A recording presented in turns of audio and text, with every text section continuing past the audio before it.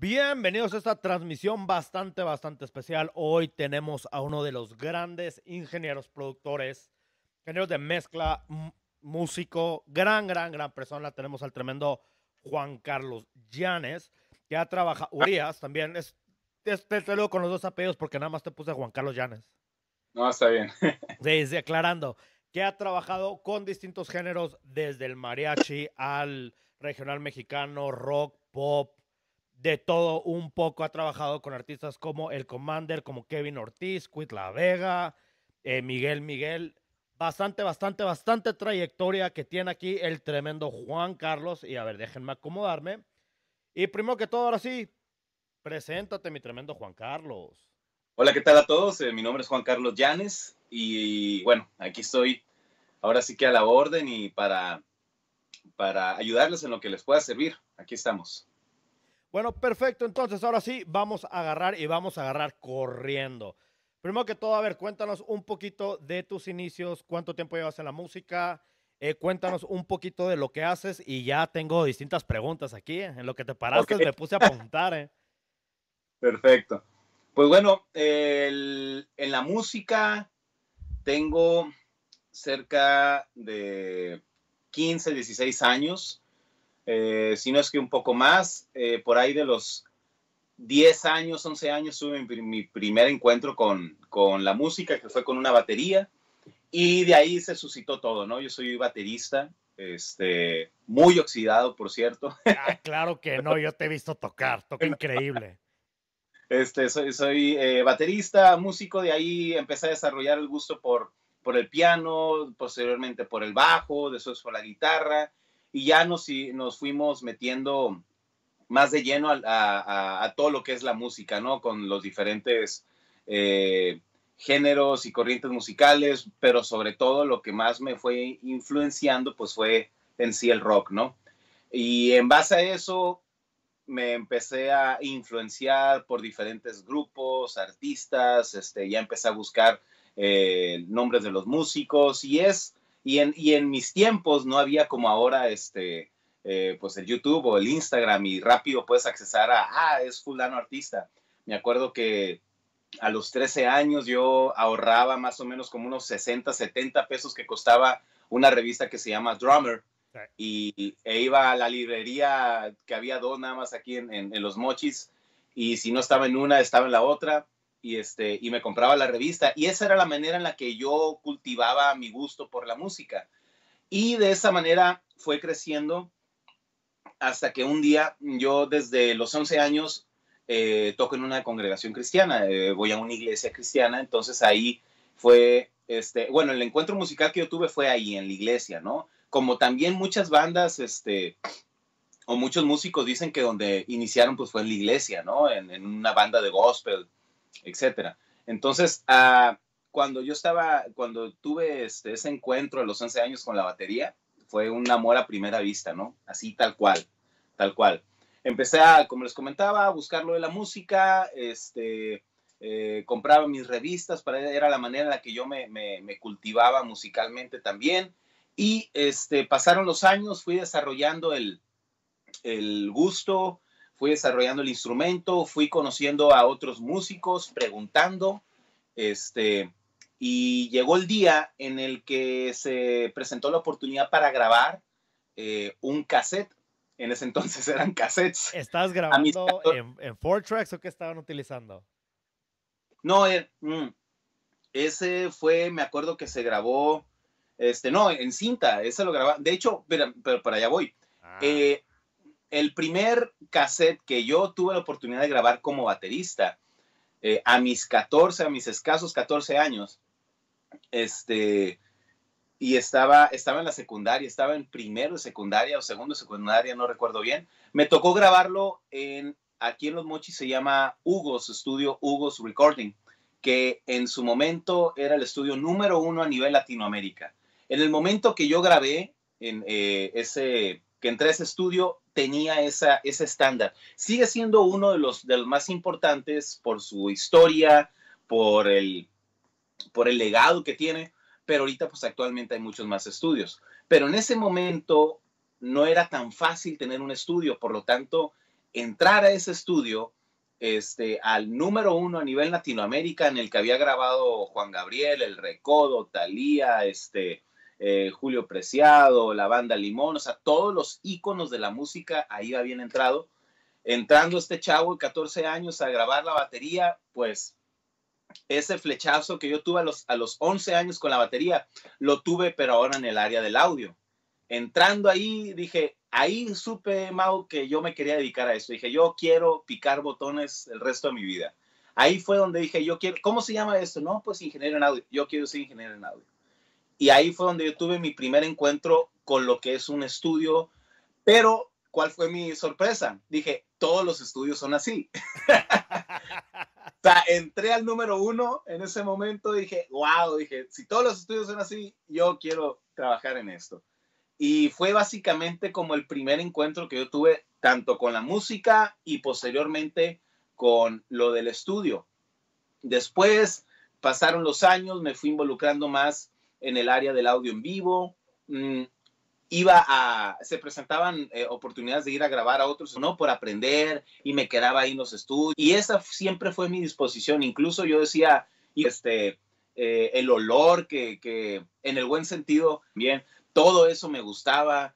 Y esa fue. Ahora, hablas de algo bastante, bastante. la disposición de estar ahí. Mentor que te puede ayudar y te puede. que todo el acceso a poder hacerlo.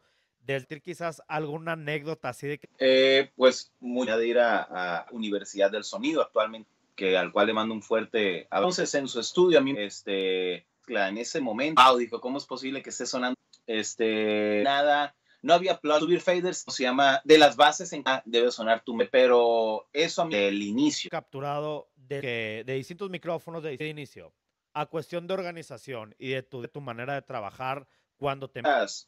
Muchos detalles a el problema. Tú estás, si tú vas a mezclar algo que tú grabaste, ya tienes y pensar en qué es primero lo que tengo que corregir o sea, antes de ponerte creativo con la mezcla, tienes que corregir muchísimas cosas. Y este, muchas veces, lejos de hacer una mezcla, estás corrigiendo una mala grabación, ¿no? Y eso con todo respeto, pues para, que, para quienes graban y quienes mandan las grabaciones. Pero este, ahí es donde tú tienes que detenerte y decir, bueno, vamos a arreglar esto primero, vamos a hacer lo que suene funcional sin ningún proceso. Lo primero que se hace, este, hablando de un tema de norteño, por así decirlo, batería, bajo quinto, bajo o tuba, acordeón, voces, etc. Lo primero que hacemos es cuantizar la batería. Cuantizar me refiero a alinearla con el tiempo. Que suene todo perfectamente bien, a tiempo cuantizado, que todos los remates, todo venga perfectamente bien alineado con el, con el, con el beat, ¿no? Con el tiempo.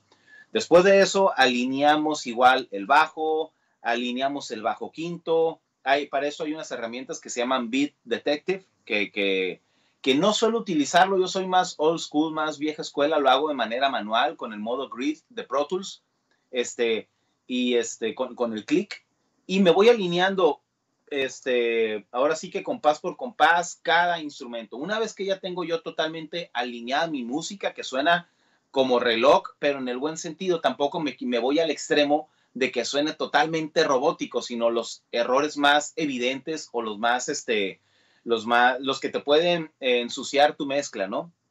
Porque la diferencia que hay entre una grabación profesional, lejos de que el sonido, el audio en sí, la calidez, la calidad, todo eso tiene mucho que ver. Pero tú te vas a dar cuenta cuando es una grabación profesional de un amateur, es que suena a tiempo. Y muchas veces este, la gente no le dedica tiempo a la edición, siendo que es de lo más importante que se le tiene que, invertir tiempo. Bueno, retomando el tema, eh, ya teniendo eh, editada toda mi música que suene toda bien a tiempo, nos vamos con las voces a afinar, alineamos este, y afinamos perfectamente bien afinado. Entonces, hay un proceso de edición previo que es la preproducción ya en cuanto a mezcla en el que sí se le invierte muchísimo tiempo para que una vez de que todo suene bien, perfectamente bien alineado, bien ejecutado todo, ahora sí ya pensamos en el, en el lado creativo, en, la, en, el, en el proceso creativo de la mezcla, cómo es que quiero que suene, quiero un bombo que suene ponchado, que suene presente, quiero que un bombo que no tenga kick, a esta canción le queda este, una tarola que suene con más reverb, con menos reverb, todos esos detalles se empiezan a analizar. Pero inicialmente... Quiero hacer aquí eh, una pausa. Dale. Cuando tú estás haciendo la parte de edición, no le agregas ningún tipo de ecualizador, compresión, nada. Es solamente edición, ¿verdad? Tome nota, eso es súper importante. Cuando editas, solamente editas. No tiene que haber ningún tipo de ecualizador, compresión ni nada de ese tipo de cosas, porque son procesos distintos. ¿Estamos de acuerdo con eso? Claro, sí, porque y, pasa algo, bro, que es muy fácil que el oído se vaya engañando. O sea, estás ecualizando para engañarte a ti, para satisfacerte a ti y eh, durante la edición y ya de repente llegas a la mezcla y ya no tienes ni idea de lo que ibas a hacer y ya no tienes el oído fresco. Ahora, es mucho más fácil que el oído tú lo puedas convencer de que algo que venía sonando mal, ya estás mezclando, llegas al, punto final y, pones bypass y pones ya eh, activas y, ah, no, pues suena padre. A que si ya te vas añadiendo plugins y dices, ay, como que no hay mucha diferencia. Y ya empiezas a distorsionar tu mezcla, tu, tu, tu trabajo, tu fluido de trabajo.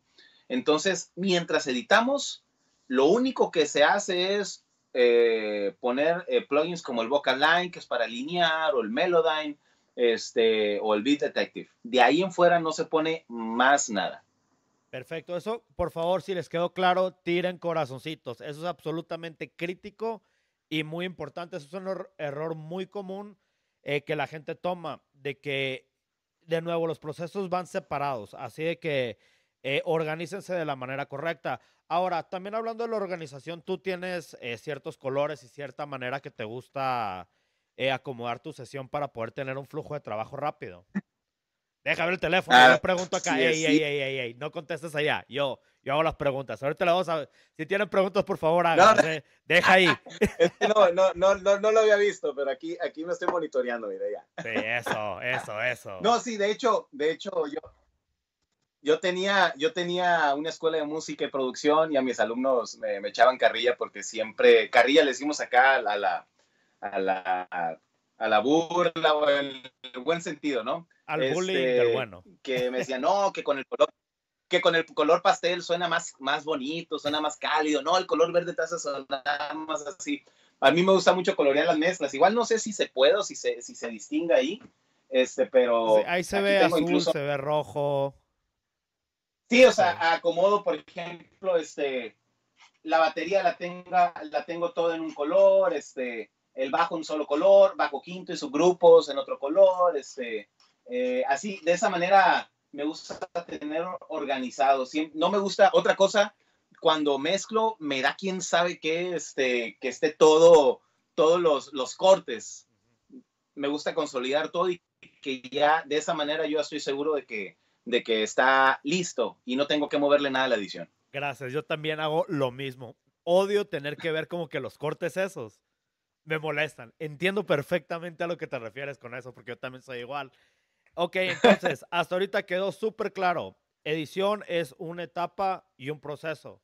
La mezcla es el otro proceso. Organícense y separen los procesos y se enfocan al 100% en lo que es la edición y cuando están listos para mezclar, se enfocan 100% en la mezcla.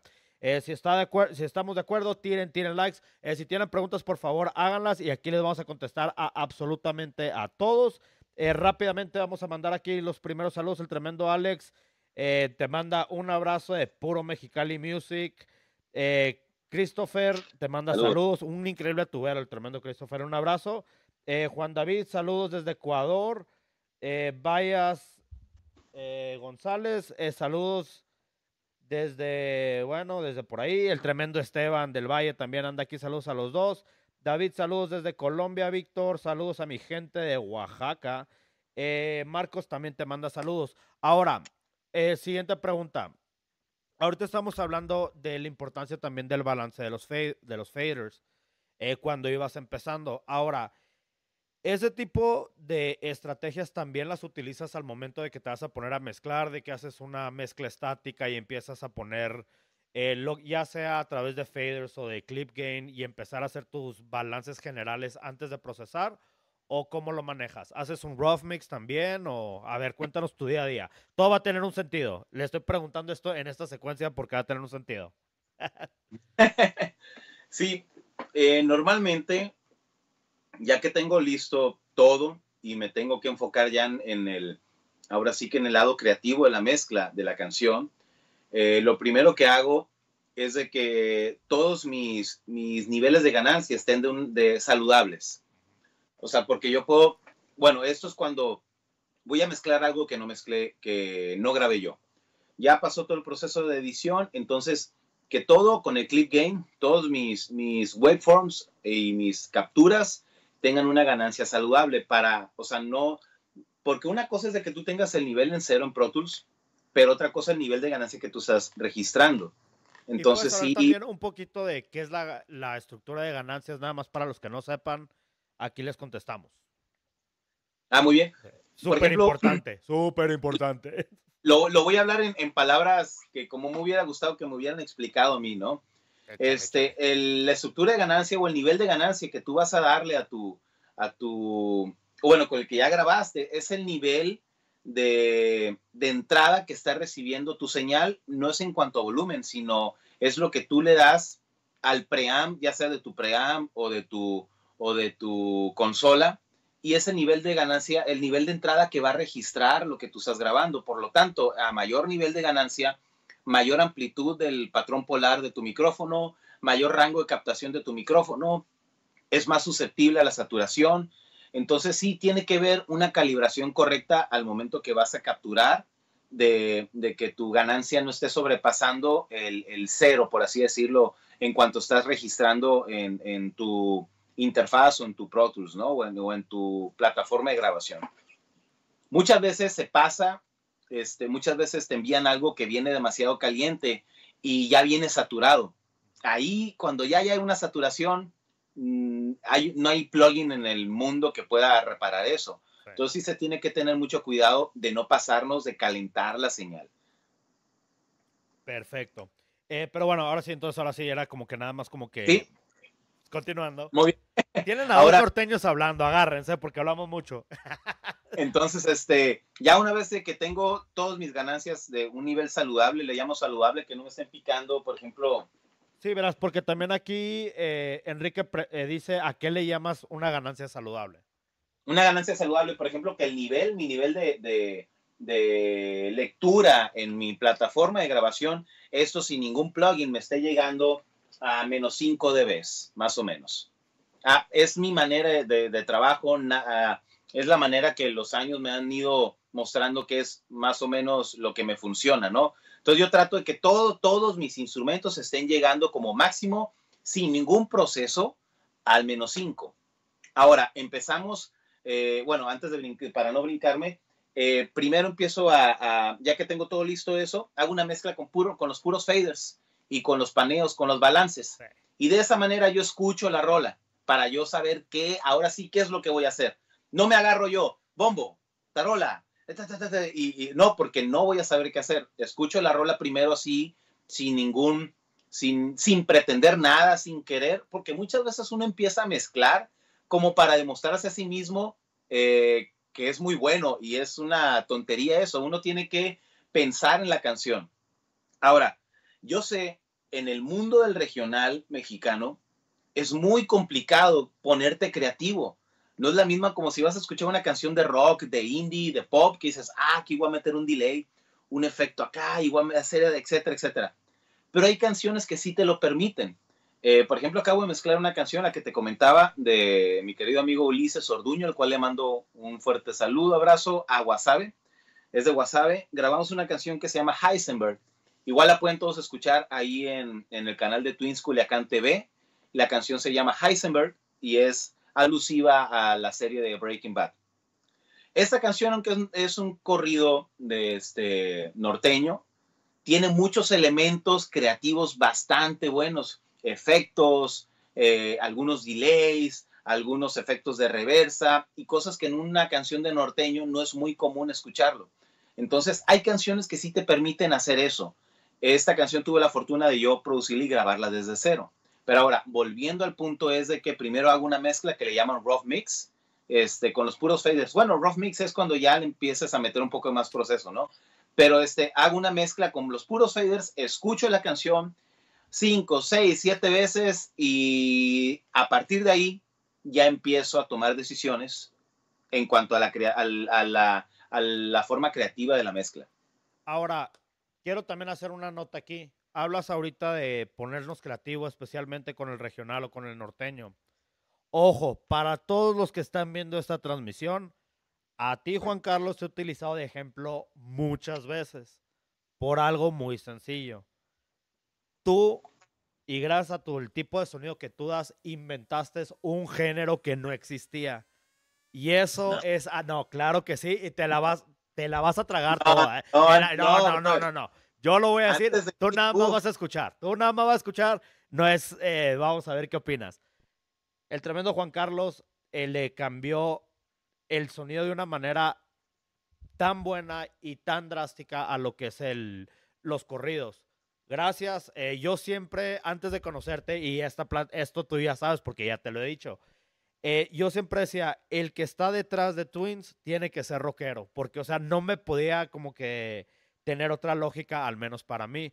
¿Por qué? Porque es un sonido bastante ponchado, muy agresivo, pero agresivo en el lado bueno y en base al tipo de procesos que tú utilizas y al ser rockero, eh, metieron como que a un rockero en lo norteño y le dieron como que un sazón muy distinto y yo, mis respetos por eso. De las primeras preguntas que yo le hice a Juan Carlos, le dije, a ver, ¿cómo procesas la tuba y qué música te gusta a ti? Y ya fue cuando me dijo, me gusta el rock, utilizo eh, compresión paralela y dije, ah, todo tiene sentido. Así que felicidades por eso. No mucha gente em, lo puede, o sea, inventó un género nuevo. Así que tú nada más dices gracias, no es como que vamos a ver tu opinión. Gracias, gracias, gracias, gracias, gracias. O sea, ya sé que ahí viene el Día de los Muertos y parece florería, pero parece panteón. Eso te lo agradezco. Eh, para todos también los invito a escuchar la música eh, que ha mezclado eh, Juan Carlos. Yo, por mi parte, puedo escuchar una canción y a los primeros cinco segundos, yo sé si tú la mezclaste, porque tienes una manera muy particular y muy buena de que tú mezclas. Así que gracias, gracias, gracias. ¿eh? Pero bueno, no, eh, no, más, más dejar contestar. Las cosas lo, pues, como son. Ok, bueno, te vamos a dejar contestar. Si estamos de acuerdo, tiren, tiren, tiren likes. Échale. No, pues mira, te agradezco mucho eso, pero no, no estoy de acuerdo porque eh, antes de mí y encima de mí hay muchísima más gente. Claro, pero. Todo mi respeto. Y, y, es muy, es muy, este, es muy o sea, nunca me adjudicaré eso, ni, ni, y, es complicado para mí aceptarlo, puesto de que tengo influencias de muchísima gente, entonces es, es complicado, este, y la verdad hay mucha más gente, hermano. Solamente soy un granito en un, en un mar de tanta gente que hace la chamba y mejor que yo, lejos. Quiero que acaben de checar. Estamos dándole. quiero que acaben de checar la humildad y son palabras que yo tengo la gran fortuna de conocer a Juan Carlos y él es así. La humildad. Ahora, hablando de humildad, dos cosas. La importancia de la actitud, la ética y la confianza que te tienen a ti para mezclar las canciones. ¿Qué tan importante es la actitud y la ética en el trabajo? Muy importante, brother. Mira, y eso aplica en todo. Yo prefiero, ya poniéndome, por ejemplo, en perspectiva, este, prefiero tratar con una persona que tenga la actitud a que tenga la aptitud. Porque la aptitud tú la vas a adquirir, tú vas a aprender algo.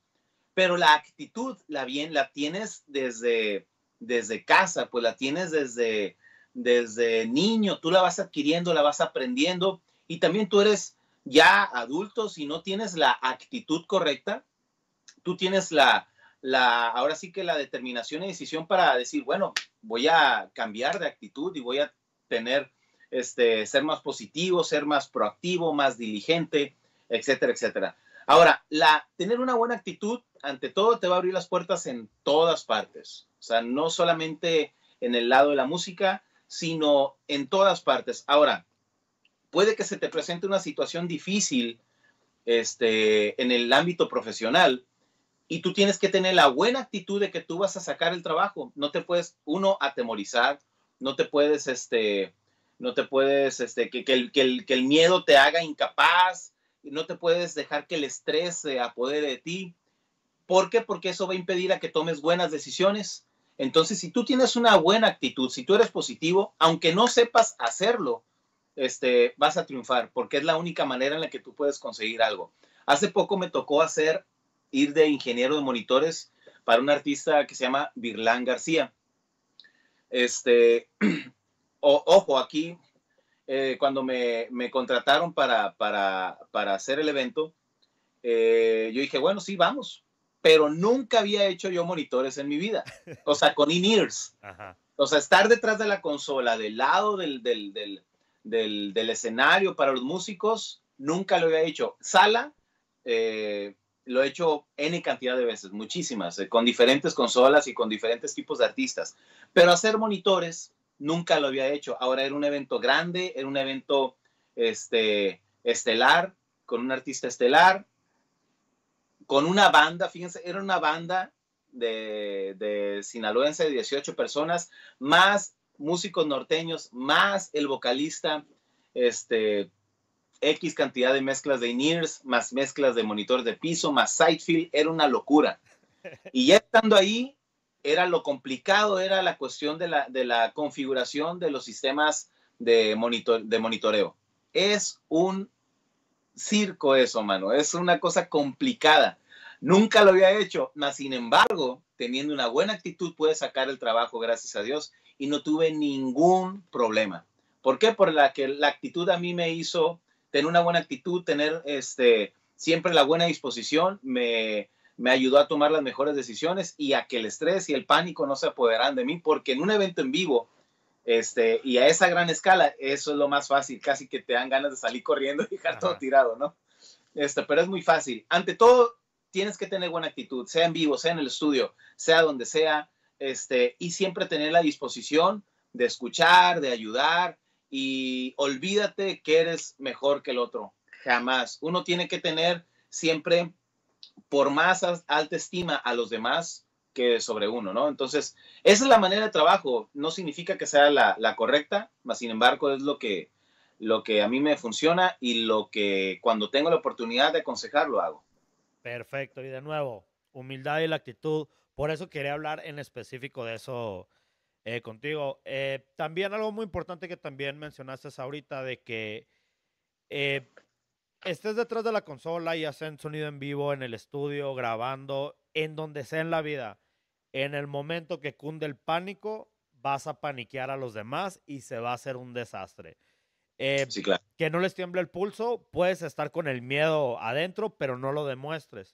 Saquen el trabajo y ya después dices, oyes, estuvo fuerte eso, pero de nuevo, no lo pueden demostrar porque al momento en que tú demuestras ese pánico, los demás se empiezan a poner nerviosos y más en monitores. Así que pues también abusados con eso. Eh, y pues como dicen, o sea, si lo vas a hacer con miedo, hazlo con miedo, pero pues o sea, de nuevo, que no te tiemble el pulso, ¿eh? Sí, que ah. no, eso, ay, la verdad yo monitores nunca lo hiciera, es, eso es de... no, es, es, complicado también porque tienes al músico ahí. Sí. O sea, como, como ingeniero de sala, disfrutas porque estás mezclando para ti mismo. Sí. Pero estás haciendo monitores y, y luego in-ears, estás mezclando para, el, para diferentes gustos. Ajá. Entonces sí es un trabajo, la verdad, muy, muy complicado, muy respetable, pero al momento que ya lo haces, híjola, lo disfrutas como nadie. Eso es de para alto calibre y eso yo no lo pudiera hacer, eh, la verdad. y lo acepto, sí, y le saco y no hay bronca. Yo le saco el sonido en vivo y se los digo así abiertamente. Eh, pero bueno, aquí también eh, dice Raúl Castillo, pero sí consolidas y utilizas más recursos en la computadora, hablando de lo de la, cuando estás consolidando. Andrés dice, saludos Master, me gustaría saber del Waves PS22 Spreader. Lo probé y me pareció increíble la espacialidad que logra la mezcla. Definitivamente, campeón, ese plugin es bastante bueno, pero lo vamos a hablar con todo gusto en otra transmisión, ya que lo tenga yo enfrente. Ahorita hay que aprovechar el tremendo Juan Carlos, así que pregunten, pregunten, pregunten. Brian manda saludos desde Bolivia. Eliud, saludos desde Tamaulipas, desde Río Bravo. Es, eso, eso. Eh, aquí también Enrique eh, comenta, eh, oye, para las ganancias, ¿es mejor calibrar con el gain o es mejor normalizar en menos 5? Vamos a aventarnos esa como que rapidita. ¿Normalizas o... No, me gusta hacerlo con el game, manualmente. Sí. Eh, yo también opino lo mismo. Cuidado con la cuando normalicen cosas. Al menos para mí es muy peligroso. Tienes que saber lo que estás haciendo, o sea, al 300%. Abusados con normalizar igual, Lo que, lo que puede servir es de que pongan este, un lector de, de decibeles en el, como plugin y van moviendo con el clip gain o el, o el fader, el pequeño fader que te aparece al lado del waveform. Y de esa manera tú vas ahí midiendo la ganancia en la que va quedando tu, tu audio. Perfecto. Aquí también el tremendo Miguel Ángel Villalobos, que estábamos hablando de ti, campeón, antes de que empezara la transmisión. Estábamos diciendo de que tienes un hambre por salir adelante y tienes una actitud increíble. Y sí lo estábamos hablando antes de que empezáramos a hablar aquí. Y dice chingón aquí. Una gran persona también, el tremendo Miguel Ángel. Próximamente lo van a andar viendo por acá también. Es cuestión de tiempo, ¿eh? eh y si no lo sabías, ya lo sabes. Eh, Raúl dice que si cómo procesas las tubas. las tubas. Justamente ahorita estoy grabando una tuba. Eh, por ejemplo, déjenme. Ah, bueno, pues es complicado ahorita que lo escuchen. No, lo va a levantar bien. No, ¿verdad? Ok. Estoy grabando una tuba. Estoy grabando con un. El secreto de la tuba está en la captura. Eso es impresionante. Desde ahí está la captura. Digo, el, el secreto. Porque a mí me toca sonar tubas este, que sí tengo que darle muchísimo proceso. Uno, porque no se le pone, hay algo aquí, por ejemplo, que le llamamos el pañal, que es un trapo pegado al pabellón de la tuba, este, y, es, y eso te permite que el pabellón, la circunferencia de la, de la tuba por donde sale el sonido de la tuba, la resonancia, no vibre, porque es un metal muy delgado que ese vibra y empieza a sonar como un metal, este, bueno, suena, suena muy metálico el, sonido, pues. Y todo lo que queremos es que ¿Mande? Y le tira la resonancia, ¿verdad? Sí, esa, y, no, y, con, la, con, la, con el pañalito ese que le decimos, le quitamos la resonancia, suena el, son, eh, suena el sonido. Se escucha el sonido este, mucho más limpio, la nota más definida. Si da un grave, se escucha el grave bien definido con el, con el agudo y la profundidad características de la tuba. Este, se hace eso y normalmente ahorita yo estoy grabando con un AK-47 Telefunken y un 414 AKG. Esos dos estoy grabándolos, este, están totalmente a la par, totalmente en fase, o sea, cuando yo grabo, trato que ningún micrófono vaya adelante ni atrás del otro, que estén totalmente en fase y el tubero siempre lo posiciono en el medio de los dos. No le doy preferencia a ninguno del otro. ¿Por qué? Porque los dos micrófonos van a ser mi sonido. No es de que uno va este, a ser el principal y el otro va a ser el background o el, o el, o el que está detrás. No, los dos van a ser mi sonido. Esos dos micrófonos pasan por, este, por un ISA, un preamp ISA, y de ahí van a estos NIF. Chulas, o sea, a ver, platícanos tantito de los NIFs, qué modelo es, para que sepa la gente. 5033, que son para mí de los mejores. Mejor, tiene una coloración increíble. Yo prefiero en lo personal pasarlo por ahí que, pues, que pasarlo por la SSL este, ah, la profundidad, el agudo. ¿Por qué, ¿Por qué eliges el NIV y no la SSL? O sea, en el caso de la tuba. Aunque ah, no, incluso, ya, igual, este, trato de ser muy cuidadoso en eso, pero la batería me gusta pasarla por aquí, pero el bombo y tarola por allá. Este, las guitarras me gusta pasarla, los micrófonos por allá, pero la línea por acá. Entonces, dependiendo del instrumento, ya el tiempo te va diciendo a ti qué es lo que suena mejor en qué parte. El, el sonido de NIF es mucho más cálido, es mucho más musical, es mucho más agradable al oído. Y se me hace, en lo personal, que con poco que tú le muevas, este, ya tienes una, ya, ya está afectando el sonido en manera positiva. En la SSL sí tengo que ser más quirúrgico. Quirúrgico me refiero a seleccionar cierta banda, el ancho de banda más estrecho, más amplio, dependiendo, y ya le doy la ganancia que necesito. En el, en el NIF no. En el NIF yo puedo tener el, ancho de banda por default en el centro y selecciono cualquier frecuencia y le doy al, al, selector de ganancia y ya empieza a colorearme. Suena muy musical y el, y el SSL siento que es más quirúrgico, más que tienes que ir en específico con las, con las frecuencias. Ahora, eso es la captura. La tuba cuido mucho que no sature. Ya sea el 414 lo atenuo y el, y el AK-47 no tiene atenuador, pero trato de que en mi preamp llegue lo menos picado posible. Y bueno, adentro en el proceso, pues ya es todo, eh, son varios, varios plugins que utilizo, pero si bien así bien grabada, lo único que hago ya al final del día es un corte con el Fat Filter Pro Q2 y un compresor, y es todo lo que necesito. Perfecto. También, mira, hablando ahorita de lo de la fase y que utilizas dos micrófonos, ¿qué técnicas nos puedes hablar, o sea, compartir para asegurar de que esos micrófonos estén eh, en fase? Digo, ya sé de que, o sea, pones las cápsulas iguales, pero ¿tienes alguna técnica para asegurar de que los dos estén eh, correctamente en fase? El oído. Perfecto. Ahora, para los que, ah, ese punto importante, el oído súper importante. Ahora, ah, lo ah, que yo hago, bueno, échale. Eh, tienes el invertor de fase en uno de los dos canales. Exactamente. Escucha, está tocando el músico, inviertes, y si tú sientes que se suma, que suena más grande, ah, está sumando. Si tú sientes como que, como si estuviera sonando para atrás, eh, eh, así se escucha el sonido cuando está fuera de fase. Cuando, como si estuviera sonando para atrás, que en realidad es eso, que la bocina, una bocina, como quien dice, está en positivo y la otra hacia atrás en negativo. Entonces, o el diafragma más bien. Este, eh, y de esa manera tú escuchas que el sonido no se desarrolla. Ahí está fuera de fase. Exactamente, era lo que iba yo. Porque yo invierto la fase, los hago hasta que cancelen. O sea, típicamente yo lo hago con eh, guitarras, eh, con amplificadores de guitarras. Invierto la fase en uno, le pongo cualquier ruido, puede ser un white noise o le aplasto un pedal de distorsión, nada más le subo. Invierto la fase, acomodo los micrófonos y cuando se cancele, y no tiene que ser cancelación de fase absoluta, eh, ahí es como lo hago yo. Esa técnica es también bastante, bastante buena si aún no han desarrollado el oído. Esas son como que los eh, truquitos ahí que te salvan la vida. Ese también, pues ahí se los paso.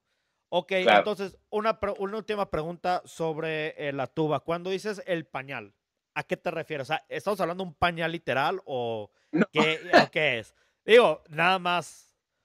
Es un pedazo de, es un trapo. Cualquiera cualquiera, o sea, eh, esta medida si te fijas. Y lo único que hacemos es un pequeño doblez y está aquí el pabellón de la tuba, o sea, la, la, la orilla, por así decirlo. Una parte va aquí y la otra así. Le ponemos cinta acá y le ponemos cinta acá y listo. Tienes una, eh, claro, depende mucho del tubero, ¿no? Este, pero ahí ya tienes muchísimo terreno ganado en cuanto a la tuba, al sonido de tuba, porque es muy fácil que, suene resonante la tuba y no queremos eso, queremos que suene un sonido definido. Otra cosa, trato yo, está el pabellón aquí, por donde sale el, sonido de la tuba, y los micrófonos los pongo un tanto cercas, porque a lo personal me gusta que el sonido de la tuba sea lo más en directo posible y que no tenga cuarto. Entre más yo aleje mi micrófono, voy a tener más cuarto. Entonces yo quiero el sonido más en directo y más limpio. De esa manera yo voy a poderlo procesar adentro si quiero darle profundidad, si quiero darle claridad y cualquier corte. Perfecto. Y para que vean de que no tienen que ser como que las respuestas más caras. Y curiosamente de que dices eso, dame cinco segundos porque se los voy a enseñar porque yo también quiero que cheques esto.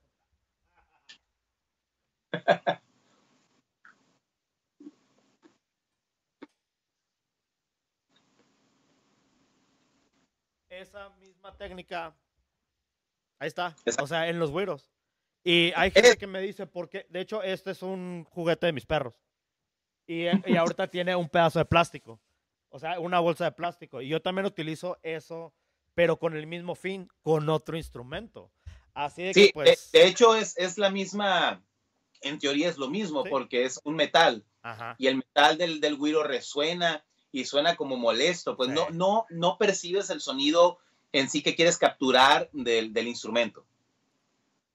Sí, así es, que. Es un armónico. Exacto. Y es esa como que resonancia. Eh, para que sepan, o sea, puede estar trabajando en un estudio bastante bueno y las soluciones de repente son las más sencillas. Lo la mismo, trapos. Exacto. Exactamente. Eh, también eso lo pueden hacer con lo que son las tarolas, cajas o, redoblantes, eh, que le puedes poner una cartera encima. Yo he utilizado con monedas y les pongo tape. Y también les dan como que dependiendo de qué tan apretadas o qué tan sueltas estén, le agrega como que otro tipo de armónicos y le agrega como que rebotes adicionales. Así que no tengan miedo a experimentar con ese tipo de cosas, pero de nuevo, si van a experimentar, experimenten con una meta al fin, o sea, no le pongan como que cosas eh, por ponérselas. Así que bueno, ok, mil gracias por esa, esa no me la sabía y ahora sí ya todos la sabemos. Ok, el tremendo eh, mi, Misarín eh, Guevara dice, acéptelo Juan Carlos, el mero máster del regional, eh, del regional. Una pregunta, ¿qué efectos utilizas en la voz en el regional mexicano? Utilizo ahorita, estoy enamorado de uno que me pasó. aunque sean diferentes marcas, no hay ningún problema. No hay filtros, tú échale. yo, sé que no hay problemas contigo. este, utilizo uno que, se, que me lo pasó mi querido amigo Richín, Ricardo Rantia, de productor de Yosabela. Eh, se llama Valhalla. Sí, uy, buenísimos. Eso el reverb. Sí, estoy enamorado de, de ¿Dónde está? Y si les está usando la transmisión, tiren likes y compartan, compartan. Ahorita les vamos a contestar a todos, no se preocupen, ¿eh? Sí, el Valhalla bueno, apenas se alcanza a ver, pero el Valhalla es buenísimo. Entonces. Es muy bueno. Eh, de hecho, ese lo utilizo para todo. Y también el Versuits Classics de Slate. Pero la verdad, ahorita este es el que a mí me ha, me ha este, enamorado. Cañón. Sí, yo aprendí del Valhalla por el Vago Galindo. Está increíble. Ese, ese river está bastante, bastante bueno. Eh, y aquí nomás como que para quedar bien, uno de Waves que te gusta. Luego se agüitan y me dicen, digo, nada más tira, tira uno y ya, yo ya cumplí.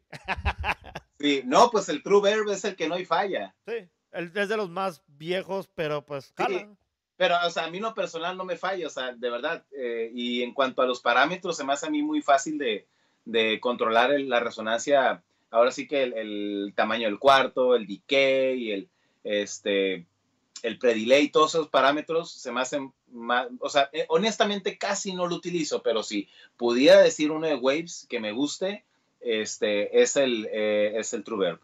¿Y te gustan los Lexicon? Los Lexicon los tengo, pero no, fíjate, es que es, es, a, lo, que voy. Eh, un tiempo estuve utilizando el True Verb. Otro tiempo estuve utilizando los Lexicons. Otro tiempo llegó el Versuit Classic y, y, era el único que utilizaba. Ahorita estoy con el Valhalla. Entonces, yo nunca he sido ahora sí que ingeniero de un solo reverb. Siempre voy cambiando, cambiando, este, y de repente me acuerdo y desempolvo uno. Ah, voy a utilizar esta ahora. Sí.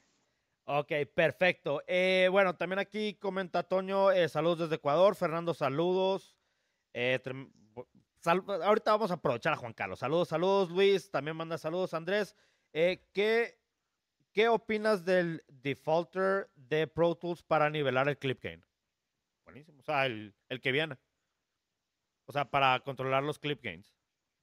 La verdad no lo, no, no lo utilizo este, mucho. Lo único que a mí me gusta utilizarlo de manera manual. Muchas herramientas que yo sé que existen en Pro Tools, este, no las utilizo. para mí es mucho mejor estar seguro de lo que estoy haciendo. Incluso si voy a samplear una batería, a mí no me gusta hacerlo con el Drumagog o hacerlo con, con Addicted Drums, con diferentes plugins. Me gusta hacerlo de manera manual. O sea, me voy pegando. Explica eso. Ya, explícalo, explícalo. Esa, eh, apunten eh, esto, apunten esto. Échale. el clip gain me gusta manejarlo de manera manual. Eso es, es, es de entrada. Cada palabra, cada este, eh, por ejemplo, la voz la voy construyendo, la dinámica con el clip gain, pero no lo hago con cortando y los, y los faders que me aparecen subiendo y bajando, no, lo voy construyendo eh, clip por clip, en el, eh, este, controlándolo ahora sí como si fuera automatizando el clip gain, aunque no es automatizar. Ahora, como esa herramienta la hago manual, también la cuestión del sampleo.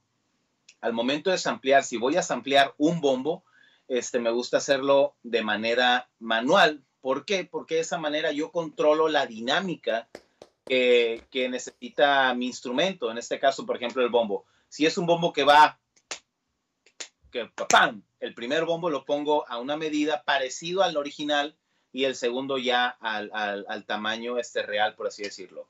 Este, si es una tarola, lo mismo. Entonces yo voy controlando. Ahora, este, un, me decía un amigo que lo que yo hago en la edición no es edición, es un trabajo artesanal. Ah, porque, me clavo yo tanto que tengo yo, por ejemplo, sample. Cuando termino de grabar una, una, una canción, este, por ejemplo, al final tengo dejo unos, bueno, no, no, no se va a alcanzar a percibir ahí, ¿no? Pero dejo yo al final unos espacios en los cuales le digo al, em, le digo al baterista, dale tarola, fuerte, despacio, ahora más despacio, diferentes intensidades de la tarola, del bombo, de los toms. Y esa es mi librería, pero es mi librería de la canción.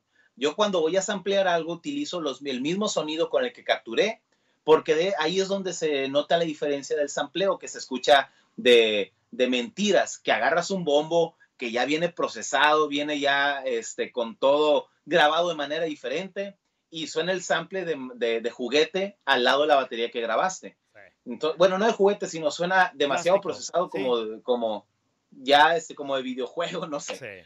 Este, de mentiras, de mentiras. Ahora, yo utilizo mi librería de samples de la misma canción y eso es lo que voy pegando. Si ocupo un Ghost Notes, agarro una, una nota fantasma y la pego donde va. Y de esa manera es como yo sampleo de manera manual. Ahora, quiero que también tomen en cuenta de la importancia de los pequeños detalles. Ese tipo de pequeños detalles eh, son lo que también marcan la diferencia y al utilizar ese tipo de sampleos hace que eh, cualquier instrumento percusivo, en este caso, eh, la batería, que respire y suene real. Ahora, ese tipo de procesos conllevan bastante tiempo, pero eso es lo que marca la diferencia. Ahora, también cuando estaba hablando de lo de las voces, de que va construyendo sus voces, lo que eso también te ayuda es de que al momento en que tú le pones un, un, compresor, por ejemplo, el compresor va a reaccionar de una manera distinta a que si lo tienes así como que de manera normal. En cierto aspecto, no estás comprimiendo, comprimiendo, y no quiero que quede súper claro que no me estoy refiriendo a eso, sino que estás controlando la enunciación de las palabras y al momento en que eh, toda esa pista le pega un compresor, ese compresor va a reaccionar de una manera mucho más natural y más estable, si se le puede decir así, y no vas a tener como que esos super picos que ya suena súper comprimido en ciertas secciones. Y de nuevo, ahí está la diferencia. Y hablando de, al principio de la transmisión, de la importancia de la edición, ahí es donde ya juega un papel absolutamente importante. ¿Estamos de acuerdo? ¿Tienen corazoncitos? ¿Algo que quieras agregar de eso, tremendo Juan. Totalmente. Este, eh, por ejemplo, la cuestión del sampleo forma parte de la edición también, porque antes de yo empezar a, ecualizar mi batería, eh, lo que hago es voy a cambiar los sonidos que no quedaron muy bien o si quiero una, una, una... Hay baterías que no las sampleo. ¿Por qué? Porque también tiene que ver con la con la quiero conservar la dinámica del músico. El, el, el samplear es una manera en la que yo voy a obtener, es un recurso que yo voy a utilizar este, si la batería no, si el baterista no tiene el mejor toque. O si quiero que suene lo más eh, limpia mi batería, pero hay veces que yo quiero que tenga esa contaminación y esa, esa, ese carácter que el músico le imprimió al momento de grabar la canción. Entonces, dependiendo. A veces, si tengo un baterista muy bueno que tiene unas cosas increíbles, no toco nada, incluso no limpio ni los toms, porque esa contaminación que me generan los toms es rica para el sonido en general de mi batería. Pero hay baterías que sí necesitan ese proceso de sampleo, puesto que no la captura o el músico no fue del todo lo que esperábamos, ¿no? Ahora, la cuestión de, la, de, la, de las voces, lo que comentabas del compresor es muy cierto, porque hay partes en las que la voz va a cantar muy bajito y va a quedar por debajo del umbral del compresor.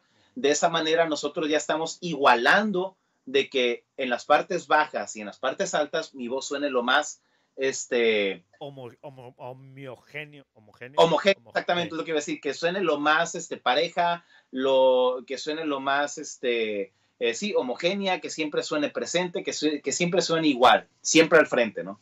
Ahora, ojo, eso no significa que normaliza, no es lo mismo. ¿Ok? Que quede súper claro eso. O sea, no van a querer agarrar una pista de voces y normalizar y decir, ah, estoy haciendo lo mismo que está haciendo Juan. No, es distinto. Son cosas diferentes. Abusados. Y también quiero que se den cuenta del énfasis que le dio a la batería. ¿Por qué? Porque es baterista. Abusados. Eso también es importante. Eh, bueno, aquí también el tremendo Gustavo dice saludos desde Colombia. Fernando dice, Mauri, eh, le pones un poco de corchea de espuma apegados, apegándose los menos. Bueno, si te refieres a lo del Wiro y cuando utilizo distintas cosas, es lo que tenga lo que esté por ahí. De hecho, en los platillos, en el ride, yo he grabado canciones en las cuales le pongo un zarape o le pongo, no sé, un suéter, lo que tenga por ahí y le sacas otros sonidos a un ride que no son como que los sonidos normales. O sea, tienes el ping, pero no tienes el, la resonancia ni tienes la nota extendida. Sí, que de nuevo puedes hacer distintas cosas, o sea, no les dé miedo. Otra técnica también eh, para todo lo que son los rides y eh, platillos es de que agarras las cadenitas que les pones a las, a las cortinas, las cadenitas de metal que traen bolitas, se las amarras y les deja como que el sizzle. Sí, claro. o sea, 20 mil cosas puedes hacer. O sea, cero miedos, ¿no? Sí, ah. no, el chiste, el chiste aquí es este hacer lo que tengas que hacer para obtener el sonido al que quieres llegar, ¿no? ¿Alguna cosa rara que has hecho que terminó en una canción? Así como que te casas, no puedo creer. Échate tres, ahorita les vamos a contestar a todos. Muchísimas, ¿eh? especialmente, especialmente en la batería, que es donde más puedes experimentar, ¿no? Este, la, la de la billetera es una, este, la de... Pero tiene que tener dinero o no tiene que tener dinero. Cuenten el dinero antes de que se las pongan, ¿eh? Este, he grabado baterías, toda la batería con este tipo de, ahogadores carísimos. Este, o sea, lo pongo así en, a un lado del, um, abarcando más o menos, ¿qué te gusta? Metiéndote unos 10, 15 centímetros. Pero no agarras una regla y lo haces, ¿verdad? No, no, no, no. Abusados, o sea, no sean tan está bien que se claven, pero no es para tanto. ¿eh?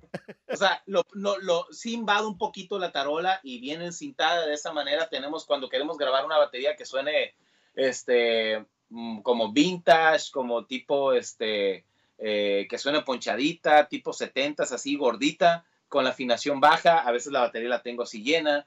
Este, también en los platillos eh, a veces me he encontrado con rides demasiado resonantes, lo que hacemos le ponemos un cuadro de cinta por abajo y de esa manera ya ahogamos el sonido del platillo. Este, pues la cuestión esa de la, de la tuba, este, muchísimas cosas. Me ha tocado eh, guitarras que suenan en la maquinaria, que suena algo vibrando y no sabemos qué es. Le amarro como cinco trapos, le encintamos hasta que damos con el sonido. Este, me ha tocado resonancias de toms que se queda ahí el tono ese sonando. La afinación está perfecta, pero eso es lo único malo. Le pegamos cintas a ver hasta por dónde, por abajo, hasta que matamos el sonido sin demeritar el sonido de la afinación. Muchísimas cosas. Uno no puede empezar, darle al, botón rojo a grabar si antes no estás convencido de que ya lograste el setup que querías. Ahora, importante aquí también con lo que acaba de mencionar, de sacar el sonido eh, de inicio. Eh, si están con la mentalidad de que se arreglen la mezcla. No. No. y vean la risa que le dio, eh, para que vean. es mentira. La mezcla nunca se va a arreglar. Una voz desafinada sí se arregla en la mezcla, pero una, una mala interpretación jamás. Una mala adicción jamás. Ahora, también hablaste de algo muy importante y qué bueno de que también tocaste de la afinación de la batería. Puedes hablar un poquito de eso y la importancia. Ahora, si no la afinan bien, tenemos el torque y la puedes afinar, pero afinar las baterías es baterías, percusiones, súper importante. Pero puedes hablar un poquito sobre la importancia de afinar las baterías antes de grabar. Más, más que afinar, por ejemplo, la batería, tiene que ver si tú vas a grabar una guitarra, por así decirlo. Fíjate, me pregunta de batería, estoy sacando una guitarra. Pero es, que, van relacionados sí, no, todo va relacionado absolutamente. Yo cuando, cuando voy a grabar un grupo, yo lo primero que les digo, cuando vengan, traigan baquetas nuevas, parches, no nuevos, pero sí buenos, cuerdas nuevas. Bajistas, este, bajistas. todo, las cuerdas del, del bajo compran nuevas, todo, aunque sea una sola canción, porque una canción mal grabada con un instrumento malo va a durar para toda la vida y, no tiene caso el no querer invertir en, tu instrumento, aunque sea por una canción. Entonces, si tu batería tiene los parches ya demasiado este, dañados y no traes baquetas, traes, ahora, la gente no le presta atención a esto, pero la, la baqueta es la que te va a dar el sonido en sí real de tu, de tu, este, de tu batería. Si tu baqueta viene medio rota y con una cinta crees que se va a arreglar, va a sonar el sonido más bofo y más opaco y sin vida. Pero si traes baquetas buenas y nuevas, pues vas a tener un sonido bien definido, duro y presente. Al igual que las guitarras, puede que no tengan la mejor guitarra, pero si traes unas cuerdas nuevas, va a sonar como una guitarra de mayor presupuesto. En el bajo, igual. Ahora, si vas a cantar y una noche antes te desvelaste y vienes todo crudo, olvídate, es lo mismo. La gente cree que estos aparatos hacen, este, que piensa que hacer un disco y hay un botón rojo, ¿no? Que pum, lo picas y ya. En ah. esto es un arte, es una búsqueda y todos los elementos, instrumentos, aparatos, cables, micrófonos, eh, ingeniero, músico, todo se combina para tener mejor resultado. Entonces, eh, a muchas veces eh, no se presta atención a los pequeños detalles, pero es ahí donde está la ganancia, ¿no? Sí. Perfecto. Eh, dice aquí que si puede aplicarlo en vivo lo de los trapos, si lo ocupa así, o sea. Sí, no, de hecho. De hecho, o sea, que vean el unplug de Zoe. Que lo vean, que se, que se fijen ahí este, todos los... Ahora sí que hay, hay, hay tarolas que tiene el trapo encima. Incluso hay una canción que se llama Te Soñé, creo. Este, que tiene la, la tarola, me encanta como son, y tiene un trapote la tarola encima. Entonces es parte de. Sí, o sea, que no les dé miedo experimentar. Si tienes el sonido, dale. O sea, a cuestión visual, de repente como que se quieren clavar mucho, pero... No, no, no. Lo que importa es lo que sale por las bocinas. Exactamente. Eh, Jason dice, saludos desde Colombia, te mando un abrazo. Eh, Fernando dice que él, bueno, que yo, que él utiliza el IR y el 360 cuestiones de reverbs.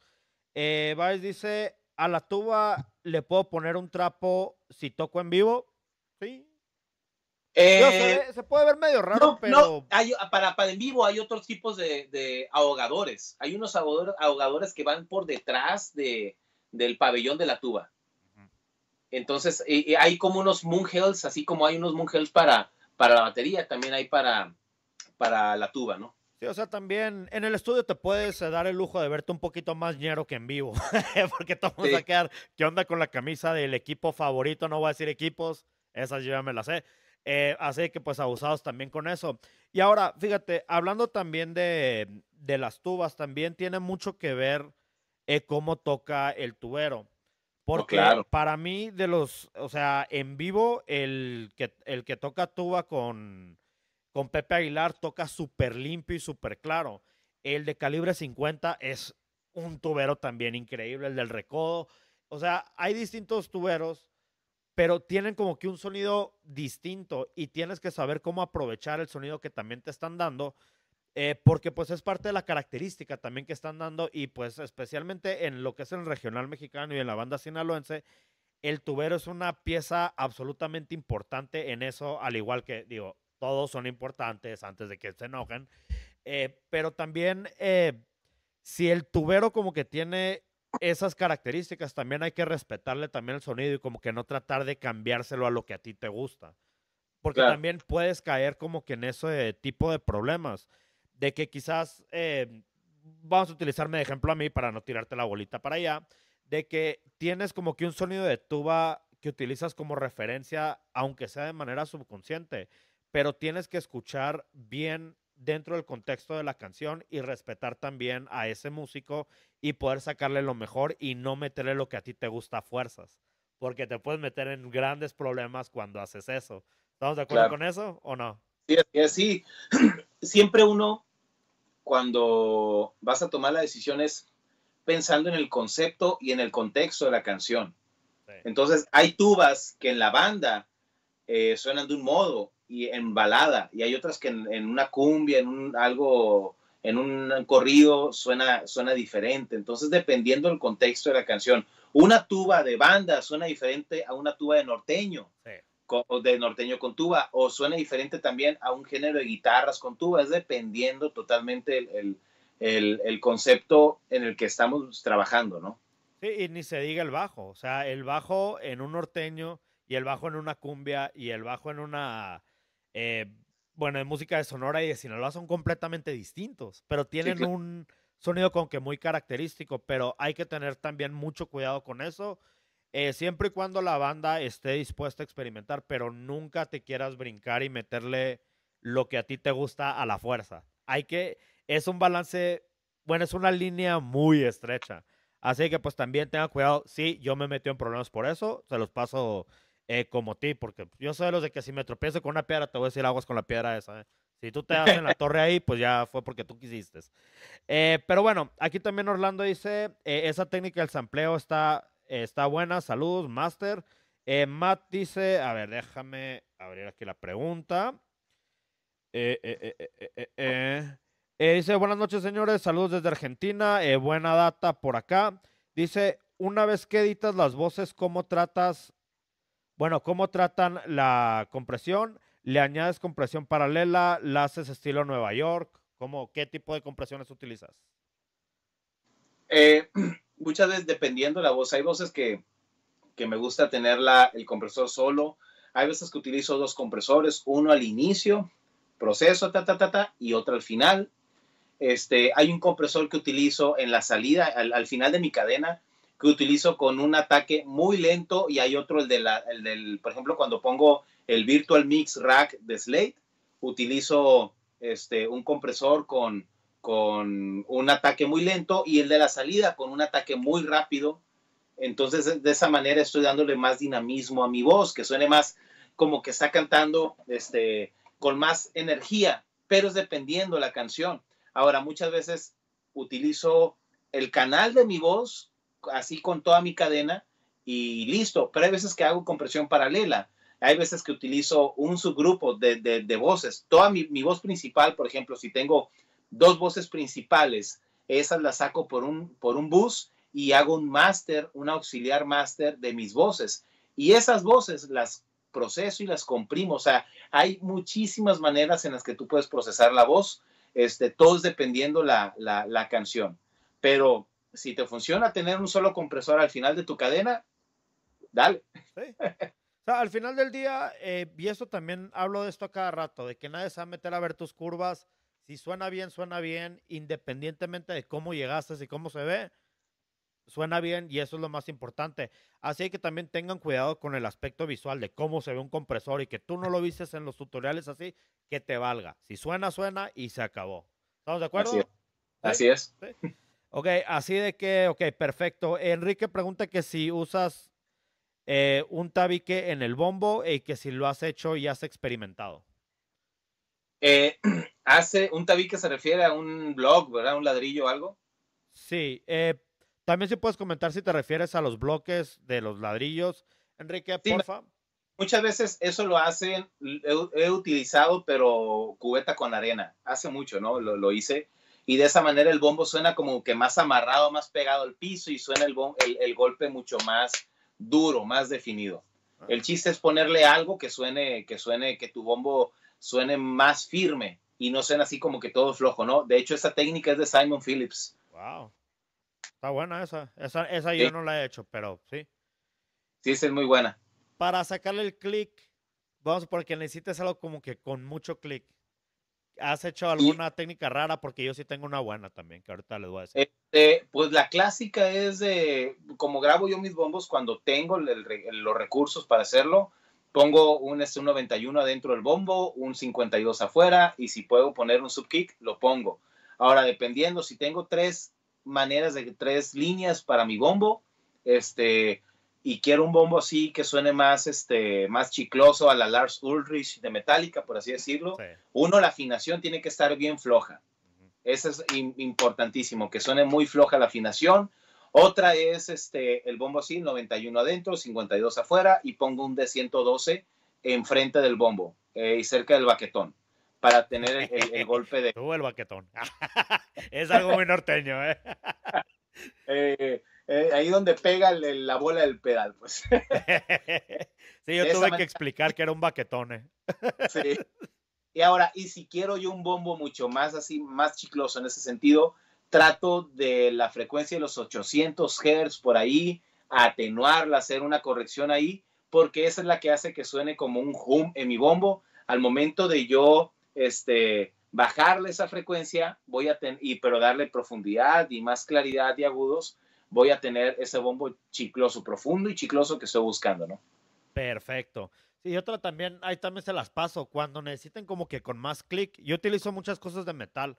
Eh, le pongo en donde le pegas al, o sea, cuando tienes el pie del bombo y le pegas al baquetón, eh, le pongo en la parte del, del, del bombo, le, le, pongo monedas para que le pegue, pero tiene que ser de plástico el, el baquetón y le sacas como que un clic bastante interesante. Así que esa pues también, por si se les ofrece, nunca saben.